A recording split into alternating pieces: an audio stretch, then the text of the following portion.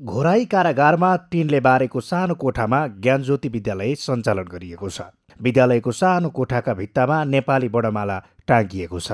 कारागारको ठूलो पर्खालभित्रको कक्षा कोठालाई विभिन्न शैक्षिक सामग्रीहरूले सजाइएको छ।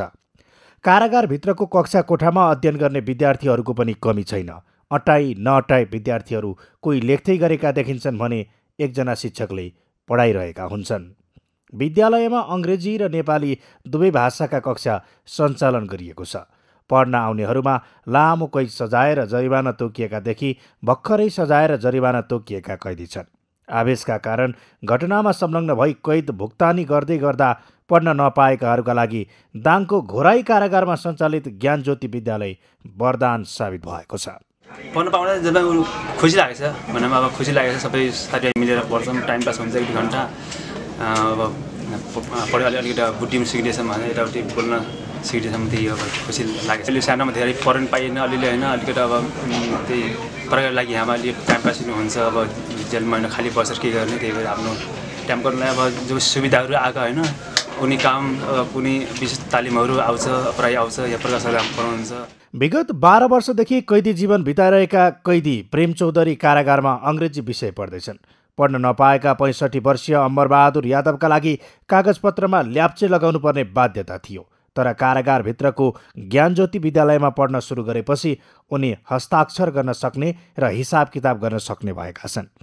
कारागारमै बन्दी जीवन बिताइरहेका जितबहादुर महरालाई पनि यहाँको अध्ययनले विगतका गल्तीबाट पाठ सिक्दै नैतिकवान बन्ने प्रेरणा जागेको छ। यहाँ बस्नु लागेको दुई वर्ष भयो। र हामीहरूले यहाँ केही पढ्न पाइरहेका छौँ पढ्न सिक्ने मौकाहरू पाइरहेका छौँ। हामीले केही जानेको थिएनौँ बाहिर हुँदाखेरि। यहाँ आएपछि धेरै कुराहरू सिक्न पाइएको छ।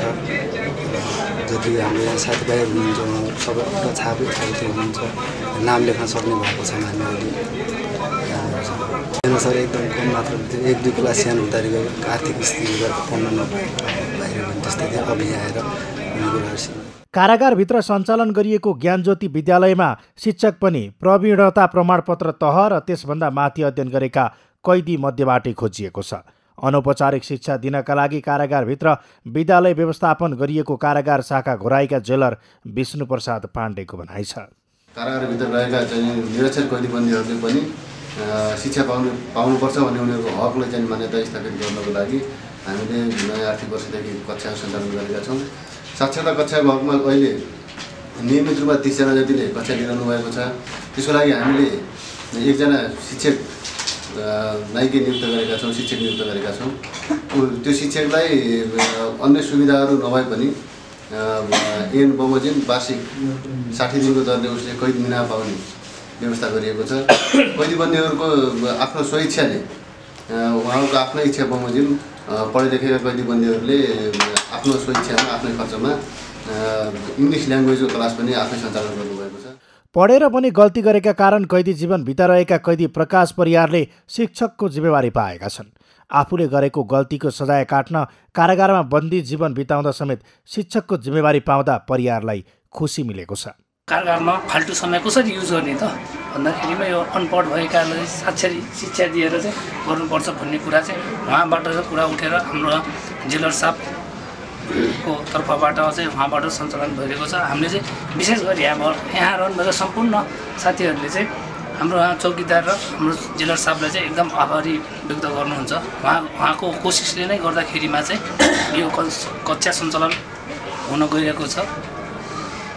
मलाई एकदम खुसी पनि अनुभव भइरहेको छ र यहाँको जेलको समय काट्नको लागि सहिलो पनि भइरहेको छ। नेपाली र अङ्ग्रेजी भाषामा पढाइ हुने ज्ञानज्योति विद्यालयमा अङ्ग्रेजी भाषामा पढाउने जिम्मा कैदी मानबहादुर नेपालीले पाएका छन्।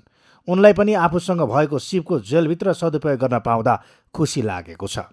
विशेष गरी त समयको सदुपयोग खालि समयको सदुपयोग र दोस्रो कुरो अब अङ्ग्रेजी भाषा यहाँ मात्रै नभइकन बाहिर भोलि बिहान उहाँहरू विदेश जाँदा वा विभिन्न ठाउँहरूमा काम गर्दा एकदमै युजफुल हुने भएको कारणले गर्दाखेरि पनि चौकीदारले कार्यालयसँग समन्वय गरेर आन्तरिक प्रशासनले सबैले मिलेर चाहिँ यो कार यो ल्याङ्ग्वेजको कार्यक्रम चलाएका छौँ हामीले। उहाँहरूले राम्रोसँग सिकिरहनु पनि भएको छ र अहिले लगभग दुई महिना भयो हामीले यो क्लास चला कैदी जीवनमै पढाउने जिम्मेवारी पाएका शिक्षकहरूलाई तलब सुविधा भने दिइएको छैन। पढाए बापत कारागारले उनीहरूलाई वार्षिक दुई महिना कैद मिनाहको व्यवस्था मिलाइदिएको छ। दाङको घोराई कारागारभित्र करिब पाँच प्रतिशत स्नातक तहसम्म अध्ययन गरेका सत्तरी प्रतिशत कक्षा सातसम्म पढेका र बाँकी सबै निरक्षर कैदीबन्दी छन्। सत्तरीजना क्षमता भएको घोराई कारागारमा झन्डै पाँच गुणा बढी अर्थात् तिन सय छजना कैदीबन्दी रहेका छन्। यहाँ सञ्चालित विद्यालयले कैदीबन्दीको समयको सदुपयोग मात्र भएको छैन कारागारलाई सुधार गृहका रूपमा समेत विकास गरेको छ।